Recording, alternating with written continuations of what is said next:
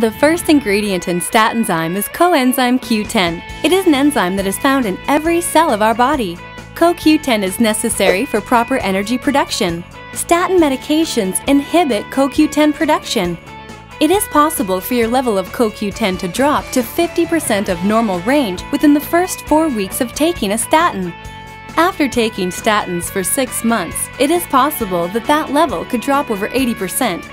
This can lead to the most common side effects, which are muscle and joint pain, muscle cramping, and liver damage. Studies show that if you take at least 100 milligrams of CoQ10 daily, these side effects can be avoided and relieved. Statinzyme contains 150 milligrams of CoQ10. You see, cholesterol medications lower your bad cholesterol, which is your LDL, but they also lower your good cholesterol, which is your HDL. Our brain is made up of mostly HDL. A scientist in the 1990s won the Nobel Prize for discovering that our brain produces cholesterol itself, not in the liver as previously thought. He discovered that the cholesterol molecule, which is produced in our liver, is very large and can't cross the blood brain barrier. Therefore, our brain has to produce the HDL itself. However, Cholesterol medications are small enough to cross the blood-brain barrier and they can actually inhibit HDL production. This can cause side effects like mental confusion and memory loss. That's why Statinzyme contains 1,000 milligrams of high-potency fish oil, which is full of omega-3s. This can help replenish your brain from the deficiency which these statin medications cause. Fish oil is also very important because it has been proven to make your medications work better. The result of a large clinical study showed that when you take fish oil together with your cholesterol medication, you reduce the risks of getting a heart attack or stroke by 19%. HDL is made up of omega 3, 6, and 9, but fish oil only contains omega 3s. That is why Statinzyme contains 400 milligrams of flaxseed oil, which contains the full spectrum of the omegas 3, 6, and 9s. This gives your brain maximum protection from statin-induced HDL depletion.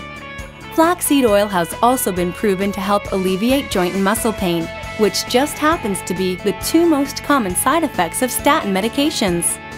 Another very important ingredient in Statinzyme is vitamin D.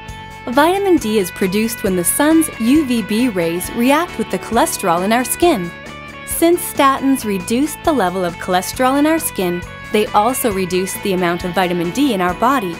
A study from the American Heart Association showed that patients with low vitamin D levels suffered from a 62% increased risk of heart attacks and strokes. That's why Statinzyme contains 2,000 units of natural vitamin D3. Cholesterol drugs also have been associated with a 15% increase in peripheral neuropathies, which is numbness and pain in the arms and legs. Statinzyme contains 400 milligrams of evening primrose oil, which has been known to relieve these symptoms and is very important if you have diabetes. Have you ever heard that a glass of wine is good for the heart? Statinzyme contains 50 milligrams of resveratrol, which is found in red wine.